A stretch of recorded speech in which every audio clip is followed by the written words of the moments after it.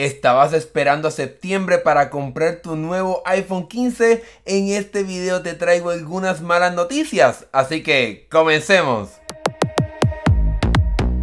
Gracias a un nuevo reporte, hoy sabemos que pudiéramos estar viendo un atraso en el lanzamiento de estos próximos teléfonos de Apple o quizás una reducción en la cantidad de unidades que estarán disponibles una vez veamos el lanzamiento oficial de estos teléfonos de la compañía. Según el reporte, esto estará sucediendo porque Apple estará reduciendo significativamente el bisel alrededor de la pantalla, así como vimos ayer en el video que hicimos aquí en el canal reseñando cómo se habían filtrado las réplicas del iPhone 15 y vimos entonces cómo los bordes de la pantalla de este teléfono serían mucho más delgados si los comparamos con los bordes de la pantalla del iPhone 14 Pro. Este reporte nos llega desde el muy reconocido portal de Information y nos revela que al parecer Apple está teniendo problemas a la hora de fabricar estas pantallas de este teléfono porque específicamente los iPhone 15 Pro y Pro Max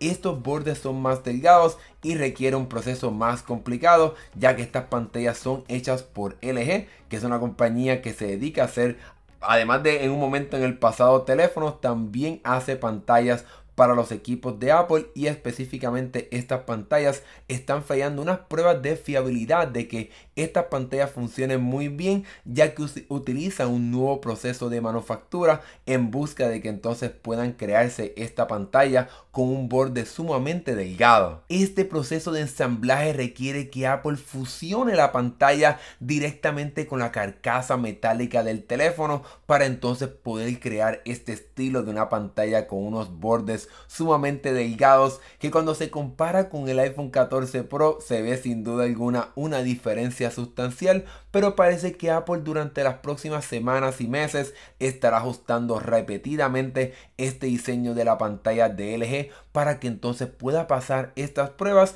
y que entonces la compañía pueda seguir utilizando estas pantallas. Ahora bien, gracias a este nuevo proceso de pantalla es que entonces estaremos viendo, en este caso aquí tenemos una réplica de cómo se vería el iPhone 15 Pro, pues estaremos viendo pantallas más grandes y con bordes más delgados pero la forma o el tamaño general del teléfono no estará cambiando, así que tendremos un teléfono más o menos del mismo tamaño, pero con una pantalla un poquito más grande, gracias a que ahora tendremos un borde alrededor de la misma que será más pequeño, como vimos el año pasado con el iPhone 14 Pro. Estos cambios en la pantalla de estos teléfonos no significa que estaremos viendo otros cambios en cuestión de tecnología, ya que seguiremos viendo la pantalla de 120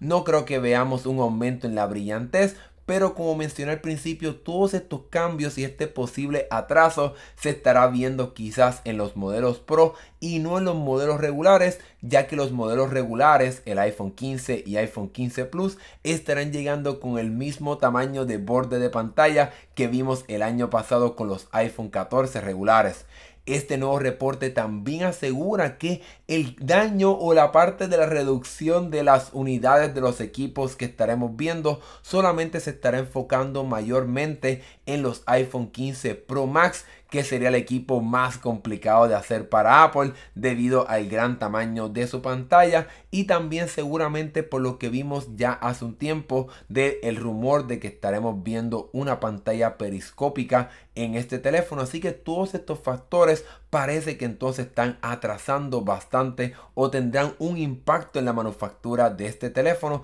para ver una reducción significativa en las cantidades de unidades que se podrán comprar cuando lleguen estos teléfonos. Debemos recordar que esta complejidad de la cámara fue lo que afectó al iPhone 12 Pro Max en el 2020 cuando vimos el lanzamiento, específicamente la parte del sistema de poder estabilizar el sensor directamente en vez de estabilizar el lente como habíamos visto anteriormente en las cámaras de los teléfonos de Apple. Así que Apple parece que tiene un poco de historia a la hora de lanzar estos teléfonos súper poderosos y grandes, ya que parece que siempre hace, hace algo bastante difícil y complejo que entonces impacta un poco el hecho de poder fabricarlos en masa. Lo más interesante de todo este rumor es que está también validado por un analista bastante reconocido del Banco de América aquí en Estados Unidos que también mencionó que estos teléfonos se estarían atrasando. Y lo más interesante de todo esto es que esta misma persona fue la que entonces aseguró y entonces acertó que en el 2020 estaremos viendo un atraso en los modelos Pro y eso se hizo realidad, aunque obviamente ese año era un poco bastante esperado que íbamos a ver un atraso en estos teléfonos debido a la pandemia que se estaba viviendo en ese momento y Apple entonces no pudo tener tantos teléfonos disponibles a la hora de entonces comenzar a venderlos y por eso es que entonces los modelos Pro llegaron un poco más tarde. En mi opinión no creo que Apple atrase el lanzamiento de estos iPhone 15 Pro y Pro Max como vimos en el pasado ya que lo bueno que tiene Apple es que la compañía no solamente confía en una compañía que hace pantallas sino que también tiene a Samsung por otro lado que también está haciendo las pantallas y según el reporte, al parecer Apple sigue ensamblando una cantidad significativa de teléfonos utilizando las pantallas de Samsung, ya que estas no están teniendo las mismas fallas que están experimentando las pantallas de LG. Así que eso entonces es un poco de buenas noticias para que entonces no veamos un atraso, pero como Apple no va a poder hacer tantos teléfonos a la misma vez, como lo pudiera hacer si tendría acceso a también a las pantallas de LG. Así que no creo que veamos muchas unidades y eso entonces significa que si estabas pensando comprarte un iPhone 15 Pro o Pro Max, específicamente el Pro Max, si no consigues el teléfono en la primera semana utilizando el sistema de preventa, creo que entonces vas a tener un atraso de algunas semanas o quizás hasta un mes en lo que entonces Apple puede tener el inventario suficiente para que entonces puedas conseguir un iPhone 15 Pro o Pro Max fácilmente yendo a una tienda y que no tengas que esperar para que entonces recibas tu teléfono. En fin, nosotros aquí seguiremos bien de cerca todo lo que está pasando con estos rumores del iPhone 15 y iPhone 15 Pro porque ya estamos prácticamente en la recta final y se sigue filtrando y apareciendo más información de estos teléfonos. Así que déjame saber aquí en los comentarios qué piensas tú sobre todo esto que está pasando. ¿Crees que Apple atrasará el lanzamiento